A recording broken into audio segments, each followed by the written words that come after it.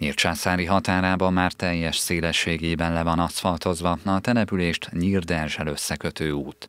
A két település között azonban volt egy két és fél kilométeres szakasz, ahol sokáig váratott magára a felújítás.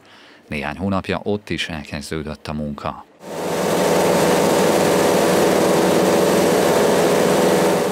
Aszfalttal borítja be a gép a felmart útburkolatot. Kedden még csak az egyik sávon lehetett közlekedni, de néhány nap múlva itt is végeznek. Sokan használják ezt az utat, a nyírdenzsiek többsége ugyanis a szomszédos Nyírcsászáriba vagy Nyírbátorba jár dolgozni, iskolába, a temetőbe vagy épp vásárolni.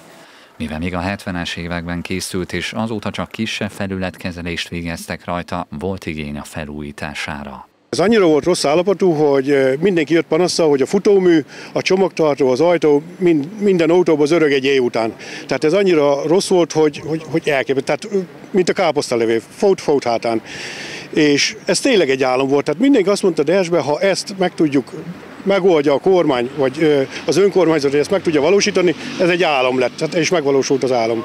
Köszönhető ez a Magyar Közút saját erős beruházásának. Arról, hogy hol lát a társaság munkához, több szempont alapján dönt. Országosan van egy úgynevezett oka rendszere, ami a burkolatokat minősíti többféle paraméter alapján, teherbírás, burkolatállapot, vízrevezetés, stb. És ez alapján kerül kiválasztásra, hogy melyik azok a burkolatok, és természetesen a rendelkezésünkre, anyag, a rendelkezésünkre álló anyagi forrásnak a figyelembevételével tudunk választani. Az állami vállalat idén őszig 2,8 milliárd forint önerőből mintegy 23 kilométeren tervez útfelújításokat a térségben, van, ahol már be is fejezték a munkát.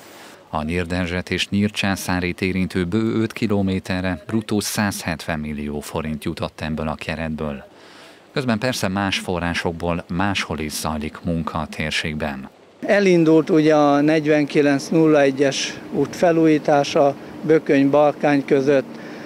Re, sikerül rendbe tenni a 471-es Nyírbogát Mária Pucs M3-as összekötő utat, ugye korábban Nyírlugosi bekötő utat, a 4914-est sikerült felújítanunk, a 4903-ast, ami ugyancsak Nyírlugosra vezet, a 4105-öst Nyírbátor M3-as összekötő út, úgyhogy szépen haladunk. A képviselő hozzátette, az elmúlt 30 évben nem történt annyi útfelújítás a választókerületben, mint a közelmúltban.